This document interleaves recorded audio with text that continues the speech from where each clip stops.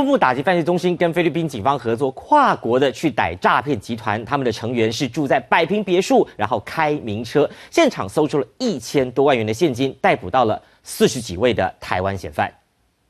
这是诈骗集团成员位在菲律宾的住所，占地百平的别墅，前面是大片的草地广场，两层楼高的落地窗展现气派，外观华丽。一楼办公空间用隔音板隔成蜂窝一样，方便打电话诈骗。二楼、三楼则是上下铺的房间，为了躲避查气，到菲律宾设置机房。诈骗手法推陈出新，不止佯装电信公司，还推销纳古塔。我同胞您好，本公司即将。推出棺材、顶古塔，买大送小，大放送，风水好，地理佳。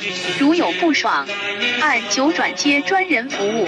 架设钓鱼网站窃取各资，透过电话诈骗受害人无数，一共逮到四十三位台湾人，有男有女，其中七人是通缉犯，他们身上还随身携带平安符，写着如果有状况，烧符跨过去就能化解厄运。